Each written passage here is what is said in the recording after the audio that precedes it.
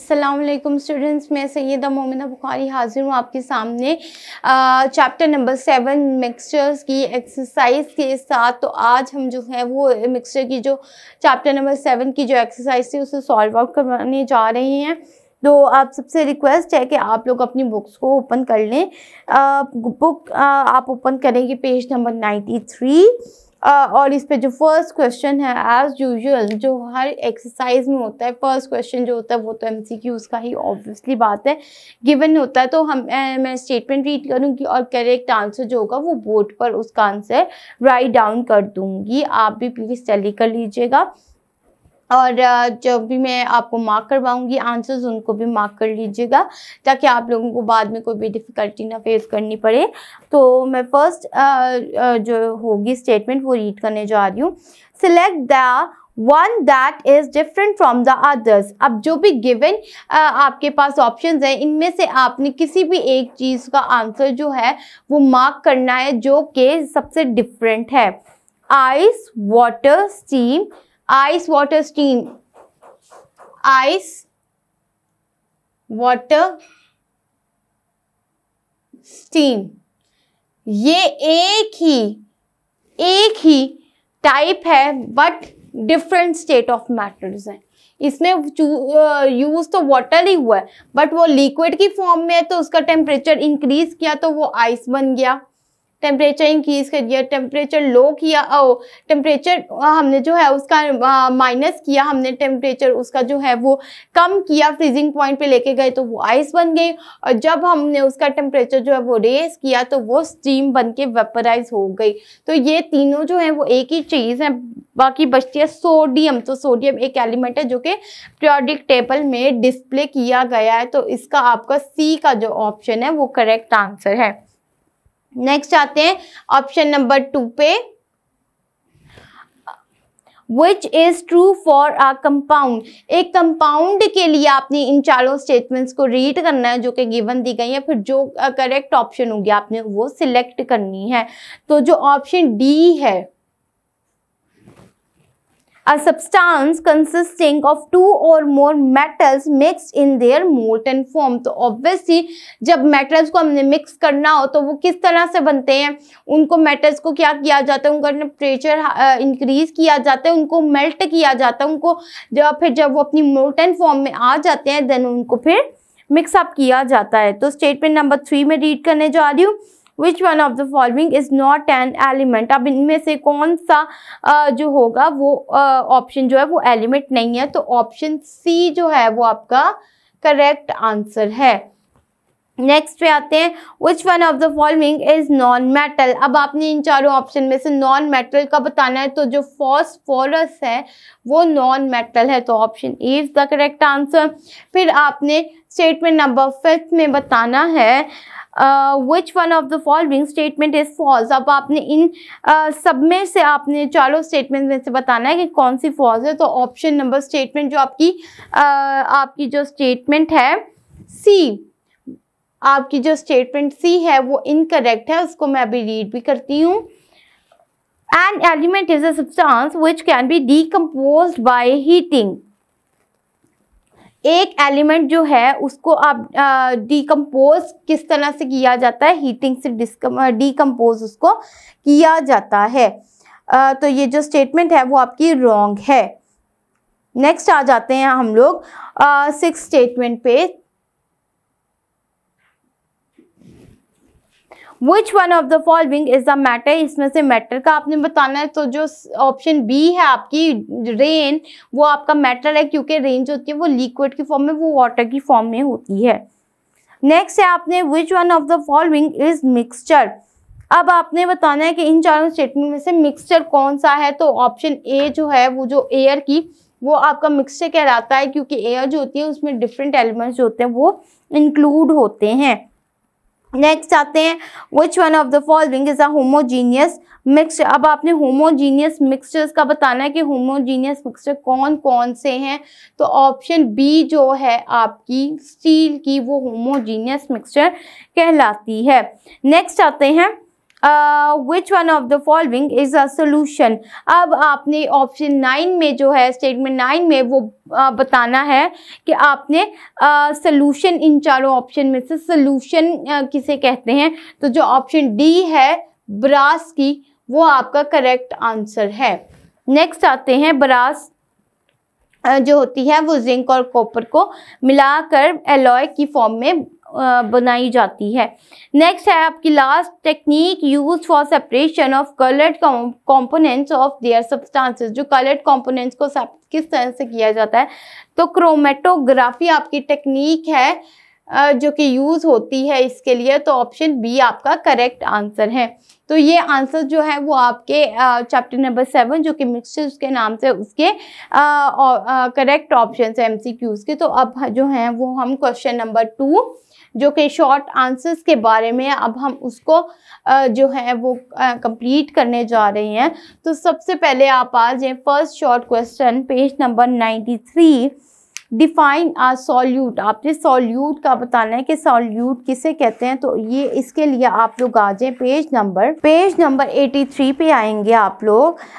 ये 7.1.3 सॉल्यूशंस का जो टॉपिक है, इसमें आपका लिखा हुआ है सॉल्यूट और सॉल्वेंट के बारे में, जो कि दो मेन कंपोनेंट्स होते हैं किसी भी मिक्सचर या सॉल्यूशन के.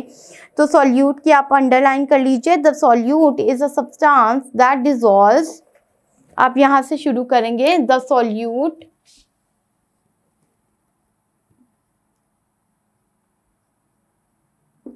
इज़ आ, यहाँ से शुरू करेंगे नेक्स्ट मैं आपको बता देती हूँ।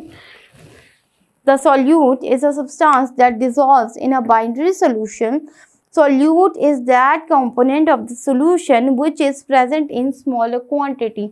uh, कोई भी मिक्सचर में सोल्यूशन में जो स्मॉलर क्वांटिटी में जो भी एलिमेंट ऐड ऑन किया जाएगा उसे सॉल्यूट कहा जाएगा।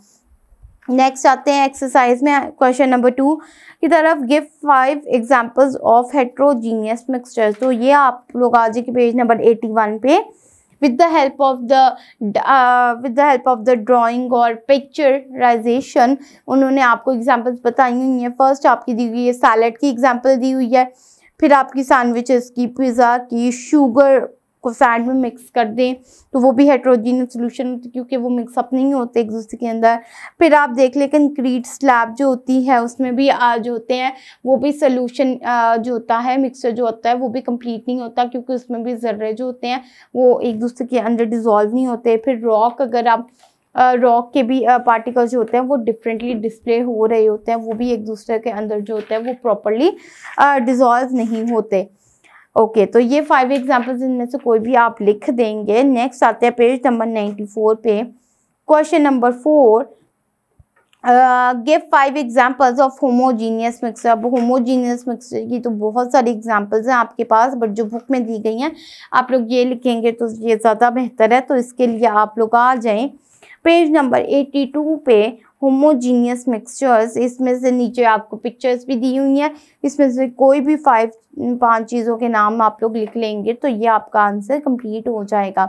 नेक्स्ट आता है give three examples of alloys आपने एलॉयज का बताना है कि एलॉय क्या होता है। तो इसके लिए आप लोग आ जाएँगे। पेज नंबर एटी सिक्स ये टेबल के, टेबल सेवन पॉइंट फोर के नीचे गिवन है एलॉय का। तो alloy are the homogeneous mixture mixtures of some metals with other metals अब कोई भी दो मेटल्स को मेल्ट करके जब एक दूसरे के अंदर मिक्स अप करवाया जाएगा तो वो एलॉय बन जाएगा। अब इसकी आपने कोई भी फाइव एग्जांपल्स देनी है तो आप स्टील की दे सकते हैं ब्रास की दे सकते हैं ब्रॉन्ज की दे सकते हैं तो ये आप लोग एग्जाम्पल्स दे सकते हैं। जो कि क्या होती हैं, आपकी डेली लाइफ पे यूज़ होती हैं। आप लोग स्टील की दे सकते हैं, उसके अलावा आप आयरन की भी दे सकते हैं। तो ये जो एग्जांपल्स हैं, ये आप लोग एलॉय की दे सकते हैं। नेक्स्ट आप लोग जो है डिफरेंश आपने बताना है, ये क्वेश्चन आपका गिवन है। Seven point three seven point three में आपने डिफरेंस बताना है तो ये मैं आपको मार्क करवा देती हूँ। तो क्वेश्चन नंबर वन देखें होमोजीनियस मिक्सचर और हेट्रोजीनियस मिक्सचर का आपने क्या बताना है डिफरेंस बताना है। तो इसके लिए आप लोग आ जाएँ पेज नंबर एटी वन पे। तो जो मैंने होमोजीनियस मिक्सचर की मैं आपको अंडरलाइन करवा रही हूँ लाइन वो आप अंडरलाइन कर लें। इसके लिए हेट्रोजीनियस सोल्यूशन पेज नंबर 81 पे आप लोग आएँगे। Line number one a mixture whose composition यहाँ से स्टार्ट करेंगे। हेट्रोजीनियस सोल्यूशन का paragraph first line a mixture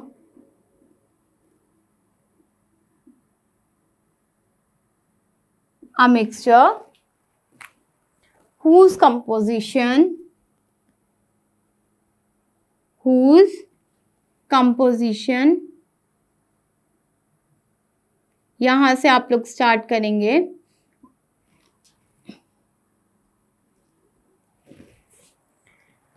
A mixture whose composition and properties are not uniform throughout the sample. Is called homogeneous mixture. ये लिख लेंगे आप लोग।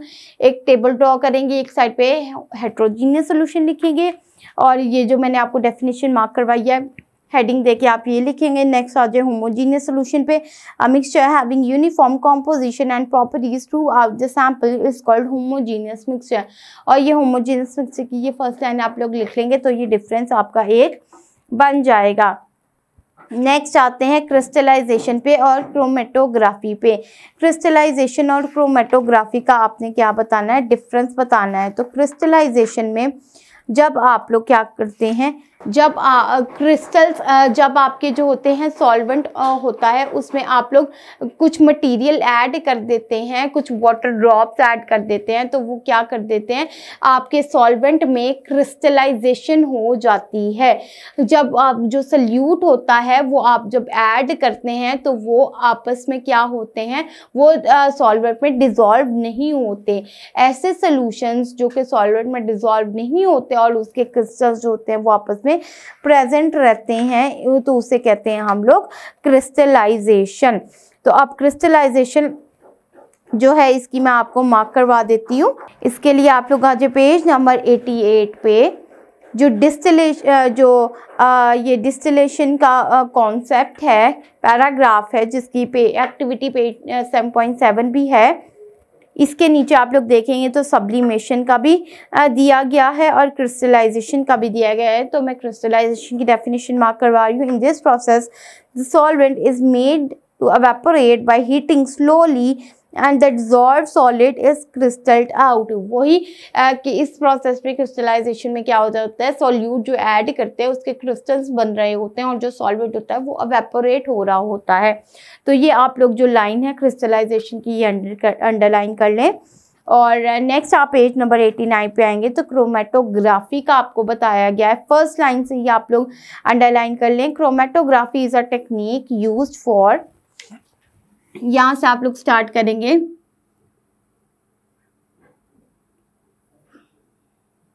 Chromatography is a technique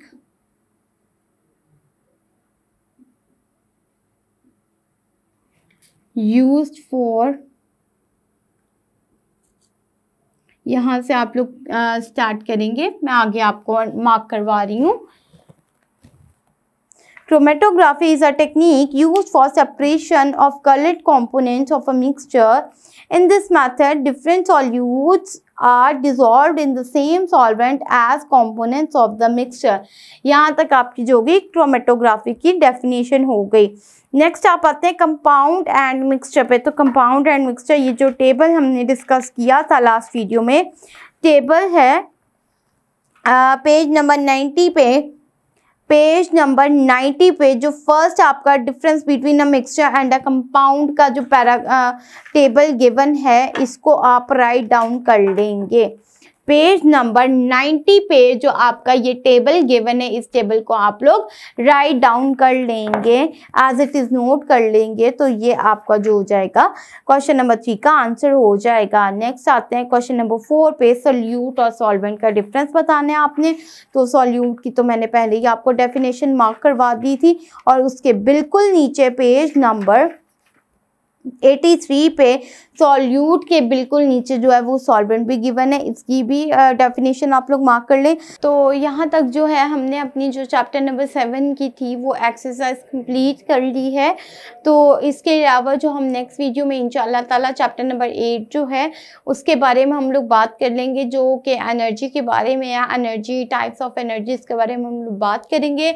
इस चैप्टर के अबाउट कुछ भी अगर कन्फ्यूज़न हो तो आप लोग कॉमेंट बॉक्स में मुझसे ज़रूर पूछिएगा अगर किसी भी टॉपिक में जो है वो मैं ज़्यादा अच्छी तरह आपको डिलीवर नहीं कर सकी और आपको समझ नहीं लगी तो आप लोग उस टॉपिक का नाम भी मुझे कमेंट बॉक्स में मेंशन कर सकते हैं। मैं अगेन इंशाल्लाह वो टॉपिक जो है वो आपको डिलीवर करने आ, अच्छी तरह डिलीवर करने की कि आपको कुछ समझ आ जाए कोशिश करूँगी। तब तक के लिए वीडियो ज़रूर देखिएगा और कॉमेंट भी ज़रूर कीजिएगा। आगे वीडियो अच्छी लगी हो तो तब तक के लिए अल्लाह